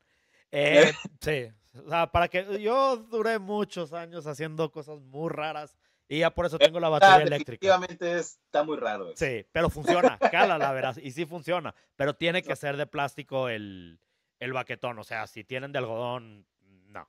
Pero sí, cálala, eh. O sea, está, sí jala, sí jala, sí jala. Eh, Gabriela, aquí dice, ya, batería, saludos. Eh, Toño dice, en mi caso yo utilizo compresores en vivo para las voces, el threshold eh, en más de 3 y el gain en 8 y el ratio de 3, 2, 1. ¿Sería que estoy bien en el release de 150? Es que depende. ¿Sí? O sea, no es, no es como que hay un número mágico, ¿verdad? No, porque el nivel de, de entrada es distinto. Aún así, si grabas con, con, las mismas características, el golpe de la persona es distinto, entonces dependiendo. Sí, así que no se claven tanto en números, enfóquense en cómo se escucha. Y de nuevo, puedes tener a un increíble baterista como Juan Carlos tocando y podemos utilizar los mismos eh, parámetros, mismos micrófonos, mismo todo y me trepo yo y no voy a sonar como suena Juan Carlos. Aunque estemos utilizando 100% el mismo equipo, porque Juan Carlos tiene un gran talento y yo pues, ah, más o menos ahí medio me defiendo. Hay diferencias, ¿eh? eh pero sí, eh, Pedro también dice aquí, excelente, Riz. Eh, qué bueno de que ya estamos empezando a hablar de esto. Bueno, Enrique sí decía de lo de los ladrillos. Mira, vamos a hablar aquí de la pregunta de Christopher. Riz, ahorita vamos a hablar de eso, porque esa va a ser la transición para en las siguientes preguntas porque ahorita ya vamos a terminar la transmisión porque también tienes cosas que hacer y yo también tengo que correrle hermosillo. No, pero dale, dale. Pero mira, ahí te va. La pregunta de Christopher, eh, ¿cuál disco de banda es el mejor para ti hablando? O sea, un disco de banda que te influenció a ti. Porque, o sea, sí, sí, sí, sí. A mí el que me, una cosa es el mejor y otra cosa es el que me influenció. Ok, el mejor y por qué, y el que te influenció y por qué. A mí el primer disco de banda que me influenció fue el del Recodo, el de Histórico desde Guadalajara, Jalisco, cuando estaba Julio Preciado aún. Es en vivo. Ese para mí es el sonido, en cuanto no sonido técnicamente hablando, es el sonido de la banda como tal, que debe sonar con esa alegría y algarabía. algarabía. Este, este disco para mí fue el que a mí me influenció en cuanto al gusto por la banda. El histórico del Recodo desde Guadalajara, Jalisco, tenía yo ocho o nueve años por ahí cuando más o menos salió. Y desde entonces este, lo recuerdo, ¿no? Y para mí de los mejores discos de banda que actualmente eh, están sonando, en realidad, este, para mí el sonido de banda que a mí me gusta en lo personal es de la banda MS. Ese es el sonido que ahorita todos los ingenieros buscan este, más o menos replicar, ¿no?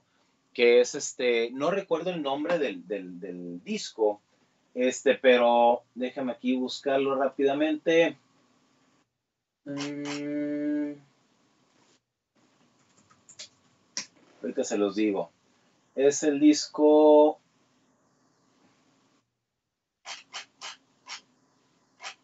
¿Dónde está?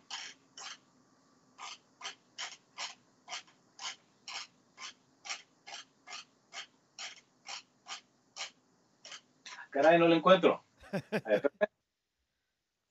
ahorita sale, ahorita sale. Es el disco de la mejor versión de mí, salió en el 2017. Este para mí es el mejor disco técnicamente hablando en cuanto a sonido, mezcla, híjole, riquísimo. Perfecto. Eh, aquí también Gabriela pregunta si recomiendas grabar el bombo con los protectores de parche o si es mejor quitarlos para la grabación? Pues si le pones un protector de parche, no se lo vas a poder quitar. Eh, pues, Porque vienen, pegados, ¿no? E, ella es una baterista increíble. Ya la he escuchado, toca increíble. Vive en Puebla, saludotes, saludotes. Y ahora sí, eh, vamos. Hay, hay, perdón, hay diferentes protectores. Hay unos que son de Evans, que son, que son como de plástico, de, de, de, como si fuera foamy. Eso es la verdad, ni para en vivo, para estudio, o sea, ninguno de los dos. Hay unos que son también de Evans, pero que son de, de una calcamanía. Esos te pueden servir. De remo también hay unos que son así una, solamente una calcamanía de como si fuera una extensión del parche así de plástico. Esos pueden servir. Pero también hay otros igual de remo que son como de, como de una tela con pegamento, unos blancos que también no me gusta cómo suenan. Es dependiendo del material. Ahora, si tienes el bombo libre, el baquetón directamente al bombo, eso es lo mejor. Pero si le puedes poner un protector que te ayude a la, a la, a la vida de tu parche, pues pónselo. Y ahora, aquí también esta es pregunta para mí. Eh, ¿Utilizas más o menos, o sea, técnicas muy similares si es una batería convencional a una tambora? No, es muy diferente. Ah, explícame eso porque eso yo muero por saber eso. ¿eh? En la tambora con un solo micrófono lo haces con un, por, a mí me gusta más el D112 de AKG este, y tiene que ver mucho la afinación de la tambora. Ahora, muchas veces la tambora este, la tocan sobre una base, ¿no? Están dándole la tambora. Ahora, la tambora, si la vas a grabar, graba solamente la tambora. No tienes que darle este, al, al, al al contratiempo al mismo, valga la redundancia, al mismo tiempo, ¿no? Pero si hay partes en las que es una ranchera que lo necesita, pues dalo, ¿no? Pero si puedes evitar eso, este, grabar la tambora y el contratiempo por separado, a mí hay veces que sí me resulta más hacerlo. Ahora, en el caso de la tambora, al momento de grabarla, este, tiene que ver mucho, como te decía, la afinación, pero también me ha servido a mí grabarla pegada al piso. O sea que, que porque muchas veces la, la tambora cuando está sobre la base, la base genera ruidos, genera que, como que está inestable, este, pero pegada al piso en una alfombra tiene, está el sonido mucho más firme y no hay resonancia de virlos, no hay resonancia de nada, ¿no? Wow. Y ahora con lo de las tarolas y los eh, timbales y todo eso, porque para todos los que no han escuchado tamboras sinaloenses, escúchenlas. Para todos los bateristas es un ritmo bastante interesante, unos acentos increíbles que no he podido dominar y llevo años tratando de estudiarlos para aprenderlos. Pero agarrarle el brinquito y meterle los acentos, o sea, está súper complicado. Eh, ¿Cómo llevas eh, lo que es la tambora? Ahorita cuando decimos tambora estamos hablando del bombo con los contratiempos, pero adicionalmente a eso tienes a músicos tocando las tarolas y los timbales, que va como complemento de un todo. Eh, ¿Cómo procesas todo eso?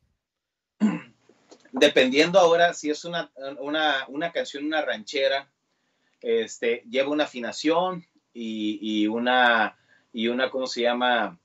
Una, la manera de ahogar los parches. Ahora, si es una ranchera, eh, trato de que el sonido de la tarola sí suene ajustado, que suene alegre, que suene este, eh, apretada un poco la tarola más de lo normal, pero trato de que no tenga armónicos. Para esto buscamos que esté ahogada la tarola. Ahora, desde la ecualización, desde el, desde el setup, la manera de ecualizar la tarola, buscamos que esté en fase y que se sume por completo con el entorchado. Eso es vital. Este, utilizo 257 en la tarola, eso es lo que a mí me gusta, y 421 en, en, en, las, en los timbales, ¿no? O en las taroletas. Este, los timbales sí tienen que tener una afinación también que no tenga resonancia, que sea un sonido seco. Los timbales son con un sonido seco y definido en lo que es la banda sinaloense. No es la misma si vas a, a, ¿cómo se llama?, a trabajar con timbales de salsa, ¿no? Es totalmente distinto. Este, entonces, si es una balada, la tarola sí se busca que suene, bajamos la afinación, que suene más sequita, más, más gordita. Para esto hay unos parches que, unos ahogadores que se llaman Big Fat Snare, que te ayudan también bastante para tener ese sonido. Si no tienes esos, con el trapo que ahorita les mencioné, la ahogamos para que suene lo más este, limpia de armónicos. Eso es lo más difícil, matar el armónico en una tarola de banda, ¿no? Y la importancia del cuarto en una eh, tambora sinaloense. Muchísimo, o sea, el cuarto, siempre la grabación, en lo que es el norte, todo lo que es regional, entre más este, controlada esté el cuarto, la resonancia, es mucho mejor no es como un rock de Coldplay o bueno, un rock de Coldplay, como una, como una, no sé, te imaginas este Yellow de Coldplay que empieza que así grandota ponchada, que se escuche el room natural del, del, cuarto en el, en el norteño, ¿no? En el norteño o en la banda en el regional, el sonido siempre es más en directo. Si tú necesitas un cuarto como tal, pues se lo vas a tener que añadir con efectos y con rooms digitales, ¿no? Pero sí desde la captura se busca que el sonido sea más en directo. Perfecto. Eh, verás, aquí también, eh, Rías, ahorita vamos a hablar de lo de los monitores, no te me preocupes, porque aquí están saliendo un chorro de preguntas.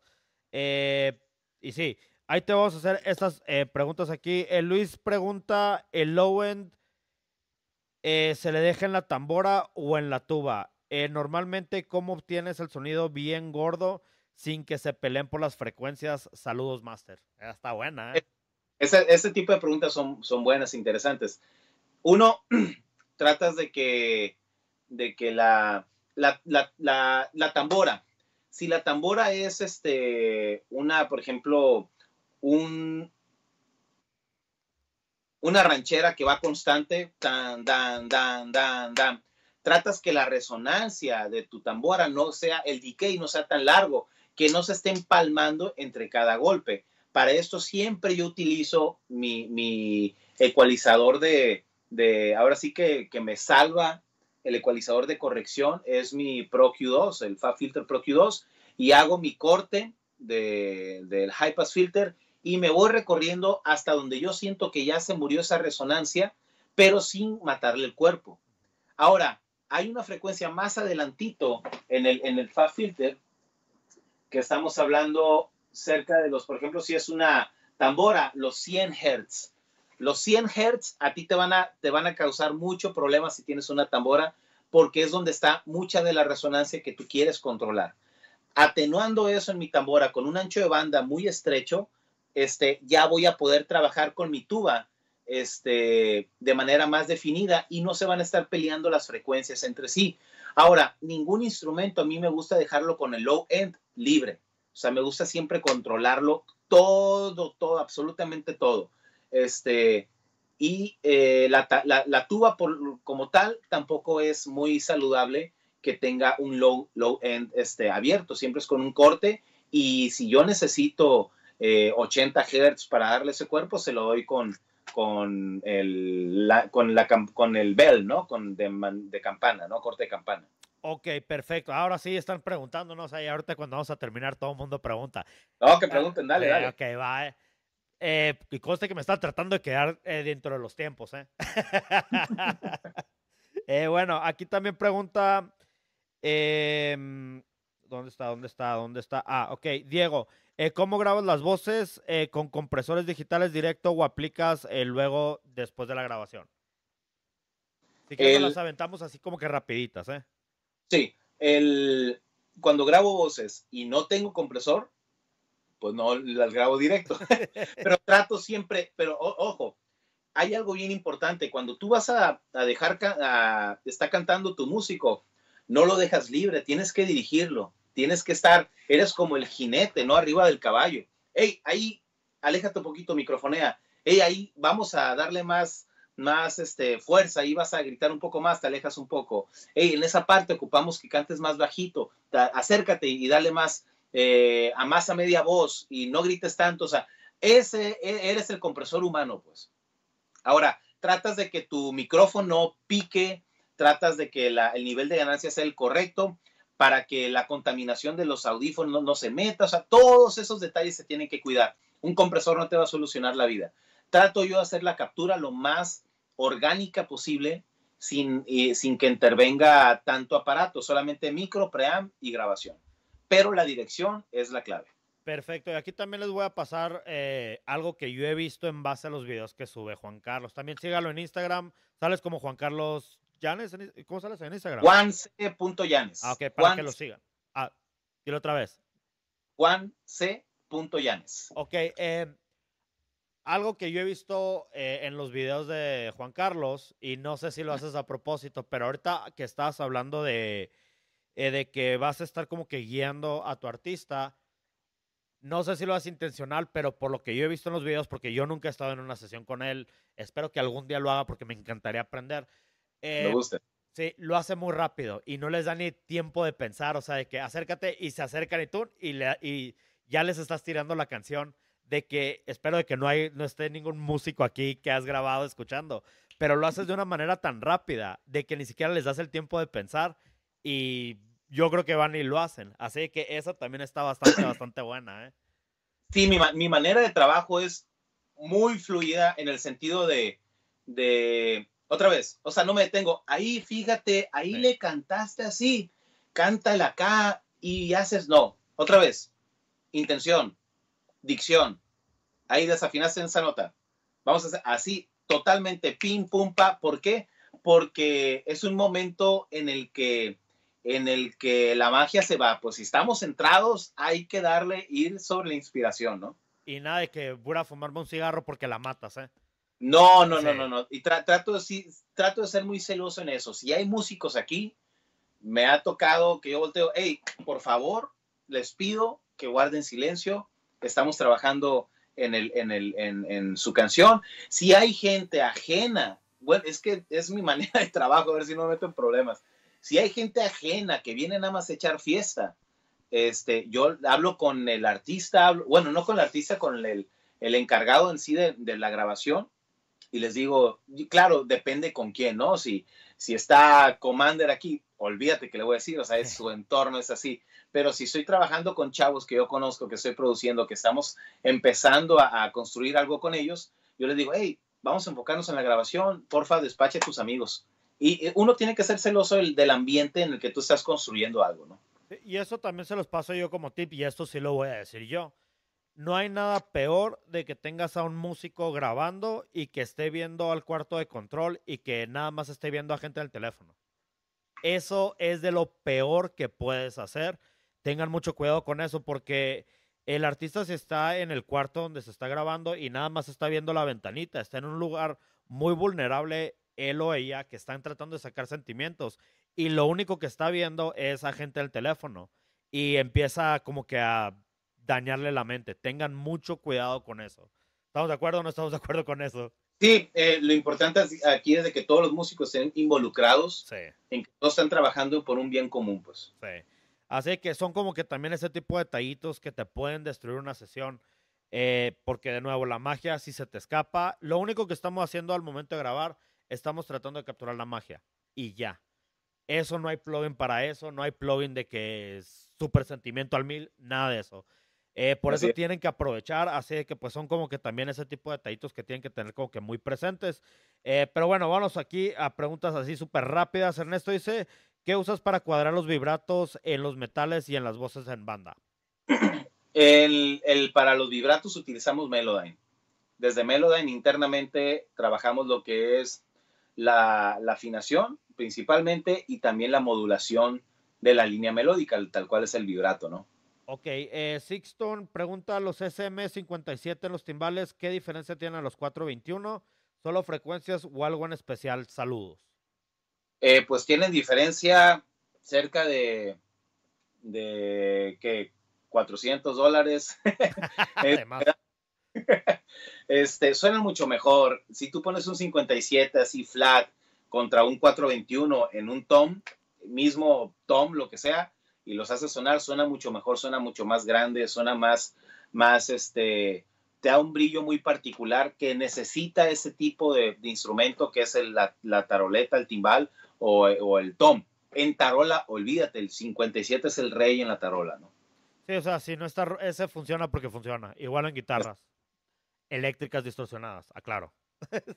eh, tremendo tocayón, dice Mauricio, bus, búscale un reemplazo eh, de Waves que haga lo mismo que el Fab Filter, eh, por favor, debe haber algo igual. Mira, tenemos algo muy bueno y parecido que es el F6, que es un ecualizador dinámico, está increíble. Eh, yo lo que te recomiendo, si te gusta el Fab Filter, utilízalo. El F6 te lo mega recomiendo. Para mí el F6 me ha cambiado mucho en la manera en la que trabajo. Así de que eh, abusado con eso. Si te gusta el Fab Filter, rájale con ese campeón. Eh, si te gusta el F6, rájale con ese. Está muy bueno también. Eh, José, verás, ah, ¿dónde está la pregunta? Y ahorita vamos a hablar de lo del Gear. Con eso vamos a cerrar para que se queden, ¿eh? eh, eh sí, José pregunta, en el álbum de banda norteño, etcétera, ¿el procesamiento para cada canción es diferente o usas alguna similitud o estándar para que todo el álbum suene homogéneo. ah, sí, en el. Yo, yo pienso que en todas las producciones se busca que suene todo lo más compenetrado eh, posible entre todos los tracks, o sea, que todos son igual. No queremos que suene como un disco de éxitos, ¿no? Que una canción suene una de, de otra manera. Entonces, este, de hecho, mis mezclas así sonaban al inicio. un buen amigo me dijo, oye, tenía yo que, este, cuando empecé con mis primeras mezclas, 17 años. Hey, suena padre todo, pero suena como un disco de éxitos. Porque una canción suena de una manera, otra de otra. Ahora, este, se busca que todo el setup de mezclas suene similar. Claro que hay canciones que van a llevar quizás, si es una balada, un reverb más largo, una tarola diferente, pero en cuanto a coloración, en cuanto a carácter auditivo, es lo mismo, ¿no? Y en cuanto a la banda, pues es igual, este, eh, se busca que todas las canciones suenen igual en cuanto al proceso, ¿no? Si tú pones la 1, si tú pones la 20, la 10, la 15, suenen igual. Si es mariachi, de la misma manera, ¿no? Perfecto. Eh, Aurelio dice el F6 es muy bueno y lo uso para editar eh, todas las tomas que quedaron bien grabadas. Perfecto, eso nos da súper gusto. Eh, ok, Ernesto está preguntando en los eh, micros de metales. Aquí tengo, ahorita agárrense, agárrense. Ya. Esta va a ser como tipo pensados, please, agárrate. Eh, también dice. ¿Cuál, ocupas? Me puedo mover con el iPad y mostrarles algo, ¿no? Dale, sí. Bueno, pues es más, sí, ahorita última pregunta técnica y ahorita ya vamos a hablar también de lo del gear para que vean también el estudio porque está increíble. Eh, Sixto dice, chévere, gracias. Eh, también aquí te comenta... Eh, bueno, alguien más también dijo de que gracias por contestarle. Eh, Héctor dice, bueno, que si en los timbales el, el SM57 o el E914 de Sennheiser. No, en los, si no tengo el 421, me voy con el 57 en ese caso. Ok, perfecto. Ahora sí, vamos a cerrar ya con lo del gear. Ahora, Muy bien. Primera pregunta que la había hecho. Déjame buscar. ¿Quién la hizo? ¿Quién la hizo?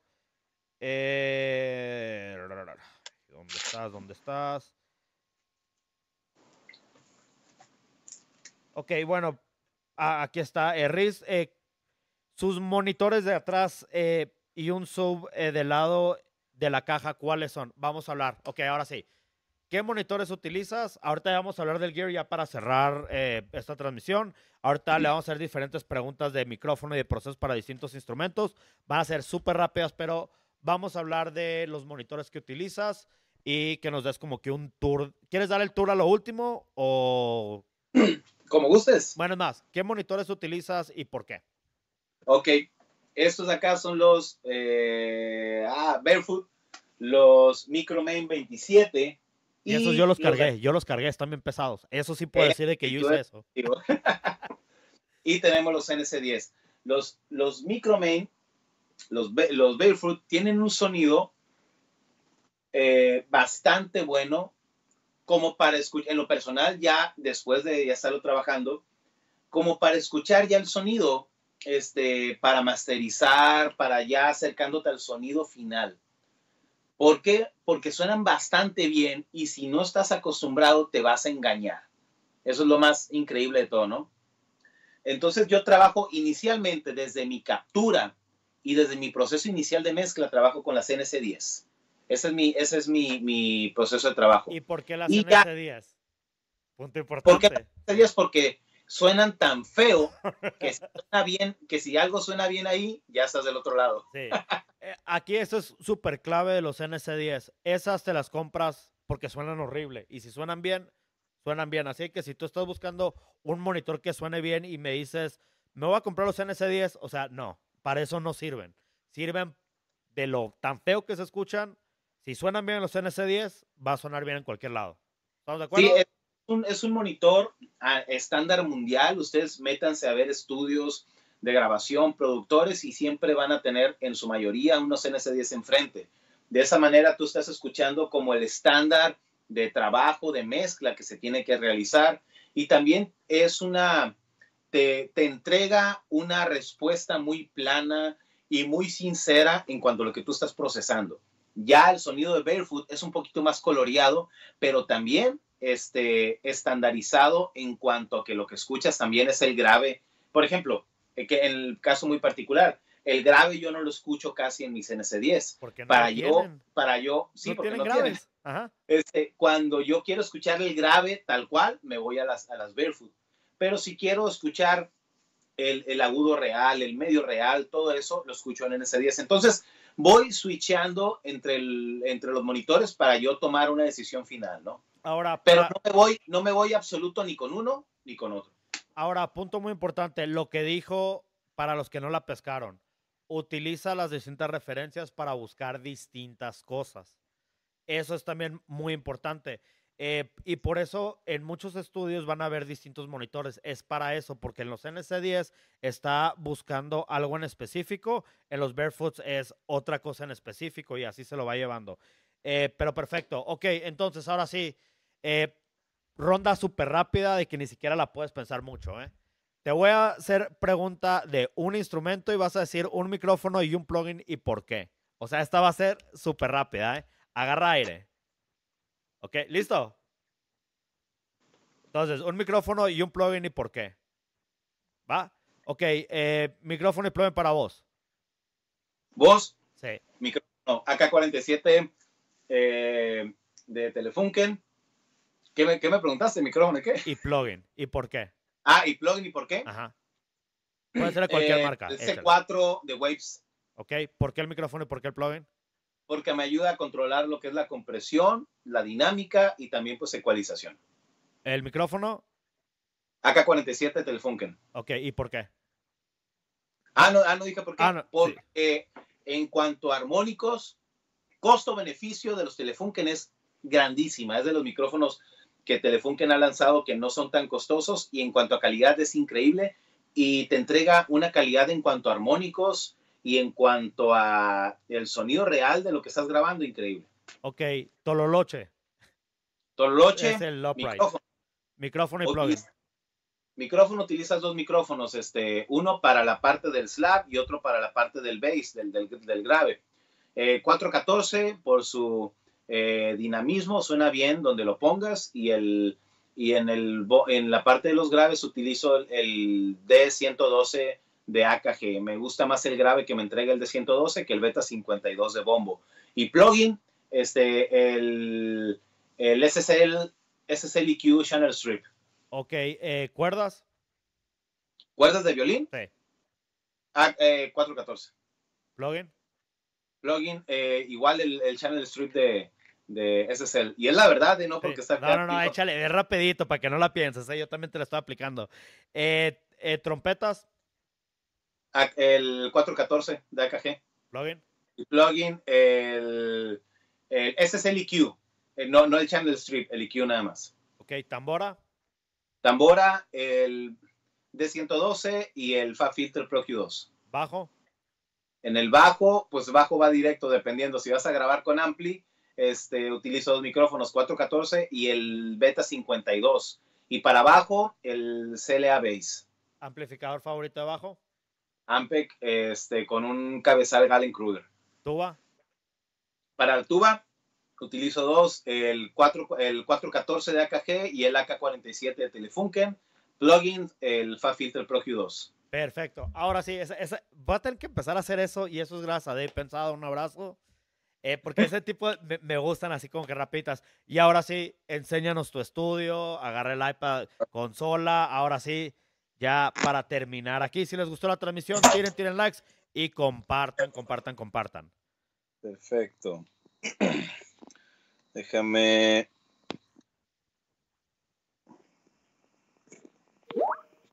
Ah, Ay. tomaste foto. Aquí estoy. y ahí sale mi cabeza. ¿eh? Ah, Ahí está. déjame quitar. Ahí está. Ok. Excelente, muy bien. Este, pues tenemos aquí, tenemos las Barefoot, como les, les mencionaba. Tenemos la CNC10. Tenemos la consola, la AWS de Waves, No, el Pro Tools, que está. no el- ¿la consola eh, es cuál? ¿Manden? ¿La consola? ¿Qué consola es? Es la AWS de SSL. Ok. Este. Y este es el, por ejemplo, este es el, el clásico, el bus compressor, el que viene en, en el plugin de Waves. Aquí está en físico. Este, los pórticos 5033 de NIF. y de ahí, este, acá abajito a ver si se alcanza a ver. Este, están, pues tenemos, la- el, este es el, el, el, el, ¿cómo se llama? El ampli de la CNC10. Tenemos la Apogee Symphony de interfaz y tenemos este, solamente esos dos preamps, que es el ISA 428 y el, y el Universal Audio, el 471. Son ocho canales de, preamplificación. Y básicamente es todo. En realidad no es mucho lo que tenemos, pero pues con esto ya, ya podemos hacer algo, ¿no? Y en cuanto a micrófonos, pues aquí tenemos el, el, el TLM ver, es el TLM más a la 49. izquierda. Ahí está, perdón. Sí, ahí está. 49, 57, y acá vamos a irnos al...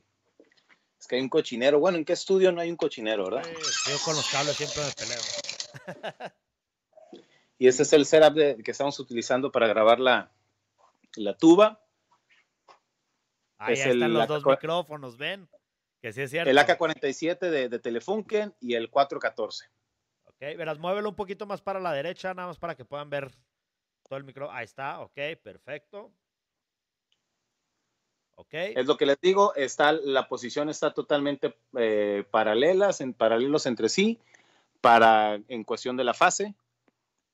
Y pues ahí está. Y ese es el, el cuarto, ¿no? ok. Ahora, eh, ¿tu parte favorita del estudio cuál es? No, pues allá adentro. Esa. Y ahora, también te la llevas mucho en el otro escritorio, ¿verdad? Sí, aquí que en realidad este, aquí hacemos, eh, checamos agenda, coordinamos cosas, este, eh, diseños, video, de todo, brother. Hacemos, ahora sí que, que de todo. Y hasta fotografías también. Tomas fotos increíbles, ¿eh? Has avanzado muchísimo, ¿eh? Me, me, me, me, me clavé mucho, fíjate, en la cuestión del diseño. Este, también hacemos diseños para los artistas, portadas, este, eh, videos, de todo. Ya lo que es todo, lo que es lo audiovisual, ¿no? Ya estamos trabajando lo de, de lleno también. Perfecto. Bueno, entonces aquí ya están para finalizar. Diego también dice un gusto, Juan Carlos y West Latinoamérica. Eh, William dice saludos. Eh, Sixto dice lindos juguetes de Juan Carlos. Jorge dice saludos desde Perú. Eh, chévere, también eh, Sixto dice chévere amigo, valiosa información. Saludos desde Ecuador. Saludos. Aquí también Sixto pues preguntó lo de los NC10 y los Barefoots que también se contestó. Eh, Mauricio también dice que tiene unos eh, focal y no se acostumbra porque engañan mucho o es muy plano lo que sonaba mejor. Bueno, mira, aquí también, a ver, ¿qué es lo que piensas tú de monitores planos? Puedes hablar un poquito de eso porque eh, para mi gusto es como que un concepto que no se entendió bien y agarran como, como que agarran monte para otra parte. En realidad, eh, por ejemplo, para mí de los monitores más flat que existen, pues son los NC10. Pero lo más importante es de que uno escuche música en una referencia. Yo me la llevo escuchando música en mi, en mi coche, este, y también tengo unos audífonos que me la llevo escuchando música ahí. Esos yo los conozco, esa referencia la conozco, eh, sé a la perfección cómo, cómo deben de sonar las cosas ahí. Ahí luego, luego me doy cuenta. Por eso todos los, muchos, por ejemplo, ves a Michael Brower que atrasito tiene una grabadora de quién sabe cuándo, y ahí se referencia porque uno no puede confiar ciegamente en los monitores. Entonces es importante, una vez de que sacas este, eh, tu, tu trabajo, tu mezcla, la escuchas afuera y la comparas, ¿no? Y de esa manera tú te das cuenta este, cómo está sonando y de esa manera conoces esta referencia, porque dices, ah, si el bajo suena así, entonces el bajo aquí en la camioneta tiene que sonar así para sonar en el estudio de tal manera y viceversa, ¿no? Así que conozcan su equipo, escuchen mucha música dentro de su estudio. Pieza absolut- absolutamente importante. Y al menos para mí, a cuestión de lo de los monitores planos, eh, eh, para mí se me hace más importante conocer tu cuarto, tus monitores. Y en realidad nadie escucha en monitores planos. O sea, No, tienes que conocer tu equipo. Así que tengan Exacto. cuidado. Cuando dicen monitores planos, no se vayan como que al extremo. Que al menos para mi punto de vista, siento que mucha gente es lo que piensa que se están refiriendo. Así que pues nada más abusados con eso. ¿Estamos de acuerdo con eso, Juan Carlos? O... Ok. Así es. Eh, Bueno, pues aquí también, eh, José dice, si cierras la puerta de la cabina, ¿realmente no se escucha lo que están tocando adentro? Eh, a veces un poco. bueno, no, se escucha aquí porque tenemos un pasillo y ese hace una resonancia. Pero si no lo tuviéramos, casi no se escuchara, honestamente. ¿Utilizan el pasillo para reverbs o para grabar como que cuartos ahí? Ah, cuando queremos ponernos más experimentales, sí, pero eh, en, realidad no. Perfecto. Eh, también aquí Aurelio te manda saludos desde Puerto Rico. Eh, Marco dice salud, saludos y buenos consejos. Mauricio dice gracias desde Chile. por las respuestas, Chile, pónganse fuertes. Un abrazo también para toda la familia chilena. Pero bueno, ahora sí ya cierro el iPad porque si no nos vamos a quedar mil horas aquí. y ya sabes de que sí lo hacemos. bueno, mi tremendo Juan Carlos, de nuevo, muchas gracias por todo el apoyo que nos has brindado aquí a todo West Latinoamérica. Gracias por compartir tus excelentes consejos. Ahora sí, nada, para que sepan, Juan Carlos fue uno de los primeros que hizo transmisión con nosotros así vía remota y fue un desastre, fue un caos. Y gracias a Dios ya estamos bien. Había una tormenta, ¿verdad? Sí, híjole, sí, que se cayó, empezaron a caer rayos, tuve que terminar con el celular apuntándole a la cámara. No, fue un caos. Pero ya estamos bien, ya todo salió tranquilo. Te queremos dar las gracias. Eh, por todo lo que nos has apoyado, por todo lo que nos has em, explicado. Eres una gran persona, campeón. Eh, sabes de que yo a nivel personal te estimo mucho. Eh, la actitud que tú tienes, la importancia también que le das a toda la familia. Un abrazo también a toda tu familia. es verdaderamente increíble y eres un ejemplo a seguir. A cuestión de educación, me encanta la importancia que tú le das para todo lo que haces y no solamente para el audio la disciplina que tú tienes eh, en tu vida personal, con tu familia y con tu trabajo se refleja, porque eso es algo que también eh, pienso de que es una parte muy importante en tu ser, de que no es solamente ser disciplinado en tu trabajo, sino que es ser disciplinado en absolutamente todo en tu vida. Porque o eres disciplinado o no eres disciplinado, así de sencillo. No puedes ser disciplinado nada más en tu trabajo y el resto se va ahí a sabes dónde. Así que la verdad, te aprecio mucho este tiempo, campeón. Y ahora sí, tú cierras, tú cierras transmisión y cuando digas adiós, yo le apago aquí, se acabó. Te queremos y gracias, gracias, gracias. Pero ahora sí ya, échale tú para que ya terminemos aquí.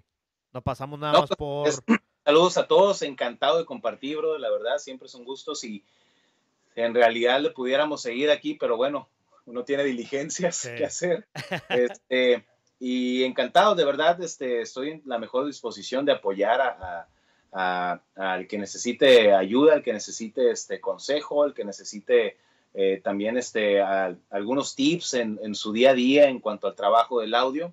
Este, y pues bueno, pueden seguirme en mis redes, que mi Facebook es Juan Carlos Llanes Urias, tal cual mi nombre, mi Instagram es juanc.llanes y un canal de YouTube que a veces subo contenido que no he subido este, se llama igual también Juan C. Llanes. Bueno, cuando tú digas adiós, se acaba. Bueno, pues nos vemos en la próxima, ¿no? Hay que decir adiós. Adiós.